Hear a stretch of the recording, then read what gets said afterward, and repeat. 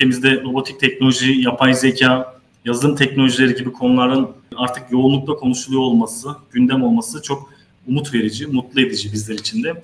Yapay zekada e, makine öğrenmesi ve yapay sinir ağlarının yanında e, derin öğrenme teknolojisinde biz robotik teknolojide de kullanmaya çalışıyoruz arkadaşlar. Özellikle robot robotlara üretilen veriler devamında sinyal işleme sistemlerinde kullandığımızda robotun insanı duyması, algılaması ve buna karşı cevap üretmesi gibi yeteneklerinde de yapay zekanın biz bu sinir ağları yani algoritmik veri üretimi konusunda da bir takım çalışmalar yapıyoruz diyebilirim. Sosyal robot ailesinde yani insan etkileşiminin yoğun olacağı robotik teknolojilerde de bu sistemi çok fazla kullanıyoruz. Ee, özellikle yapay zeka mühendisi ve bilgisayar mühendisliğindeki e, çalışan arkadaşlarımız bunun üzerine yoğun mesailer harcıyor. Yapay zekanın üretken versiyonunu da biz birçok yerde kullanıyoruz. Büyük veri daha da büyüdükçe, verinin içerisine her yazılımcı, her kullanıcı bir şeyler öğrettikçe, kütüphaneler geliştikçe bu teknolojide takdir edersiniz ki o paralelde hızlı bir şekilde ilerliyor ve kullanımı da eş zamanlı olarak da bizim için fayda sağlıyor. Ama şu soruları beraberinde getiriyor. Acaba yapay zekanın üretken versiyonu veya robotik teknoloji, robotlar meslekleri elimizden alacak mı ya da mesleklere nasıl entegre olacak gibi sorular da geliyor. Buraya cevabımız genelde şöyle oluyor. Bu kadar korkunç seviyede bir hızla ilerleyen bir yapay zeka, onunla paralel ilerleyen robotik teknoloji elbette ki tamamen üretim amacı ve geliştirme amacı insanlara destek olmak, yardımcı olmak, bizim için yapılması tehlikeli veya zor olacak işleri yapabilmesi öğrenmesi ana hedef ama teknolojinin bu kadar ilerlemesi, bu yapının bu kadar hızlı öğrenmesi, büyük verinin çok hızlı ilerlemesi ve buna bizim erişmemiz ve kullanımını devam ettirmemiz, arttırmamızda tabii ki mesleklerin içerisine entegre olması ve bazı meslekleri de yok etmesi öngörülebilir. Yapay zeka hem yazılım teknolojileri hem de robotik teknolojiyi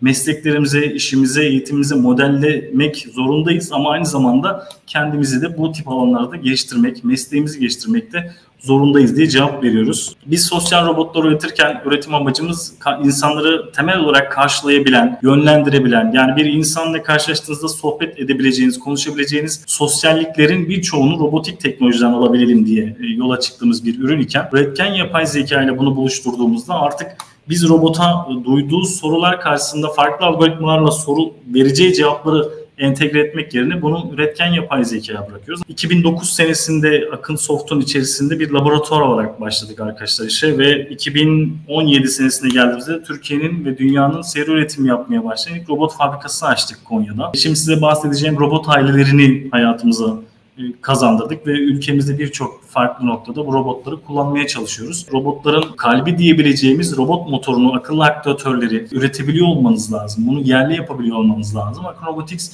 bu geçen sürede bunu başarmış ve seri üretim yapmaya başlamış. Kendi motorlarımızı ürettiğimiz andan itibaren sosyal robotlardan tutun da Quadrapet yani hayvan anatomisi üzerine çalıştığımız robotları, bugün dünya gündeminde olan insansız robotların üzerinde de çalışma yürütüyoruz diyebilirim ve bunların üzerinde de halen faaliyetlerimizi sürdürüyoruz. Akın Robotics 15 yıl önce bu hikayeye başlarken robotik teknolojide kendi aslında işletim sistemi üzerinde çalışan Aros ismini verdiğimiz bir yapıya büründüren yani robotların içerisinde tuttuğu bütün verileri, bütün sistemleri kendi kütüphanelerini yazan bir ekiple ortaya çıkıyor. Türk mühendisliği ve Türk yazılım teknolojilerinin yani umuyorum sizlerin de hayata geçireceği birçok projeyle bu ekosistemin büyümesi gerçekten bence geleceğe dair umut verici olarak karşımıza çıkıyor. Çok fazla talep geliyor. Çok fazla taleple karşılaşıyoruz. Karşılaşacaksınız da mutlaka. Bunlara cevap verirken kendi kütüphaneleriniz, kendi teknolojiniz ve bu işi yerli ve milli yapabiliyor olma gayeniz bence oldukça ön planda olacak. Robotik ve kodlama alanında kendimizi geliştirmek için tavsiyeleriniz nelerdir? Akın Robotics'in ileride bu alanlarda yapacağı eğitimler olacak mı? Bir de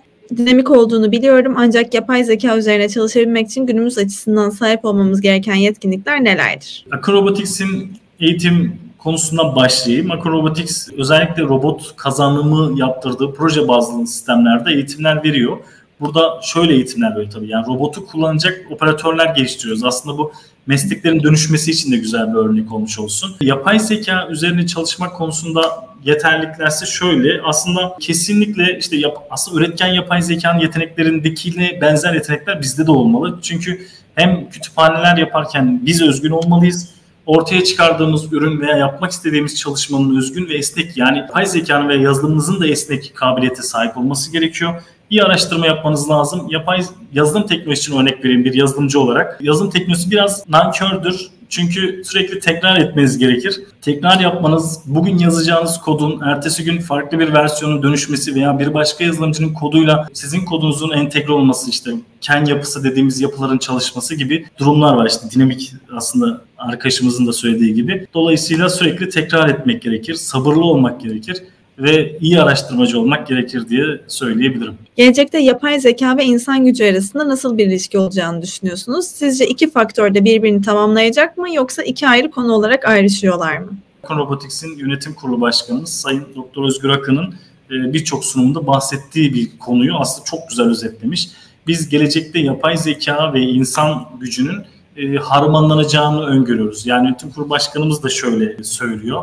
İleride insanların robotik uzuvlara sahip olacağını düşünüyoruz. Sentetik kan üzerine çalışmalar olduğunu biliyoruz. İşte uzuvlarımızı robotik teknolojiyle belki de devam ettireceğimizi öngörüyoruz. Yani insanlar kendi uzuvundan çok daha yetenekli robotik kol, robotik bacak, ne bileyim robotik göz yani kamera sistemi kullanacağını öngörüyoruz. Dolayısıyla yapay zeka ve robotun insan ile harmanlanmasının çok yakın zamanda böyle birleşeceğini düşünüyoruz. Bu önemli bir konu. Hatta sibernetiğe kadar giden de böyle bir geçmiş olan bir konu. Yönetim kurulu başkanımızın sosyal medyada birçok sunumu var. Oralarda incelemesini eğer meraklıysa izlemesini öneririm. Çünkü hakikaten önemli bir konu ve onun da devamının geleceğini düşünüyoruz.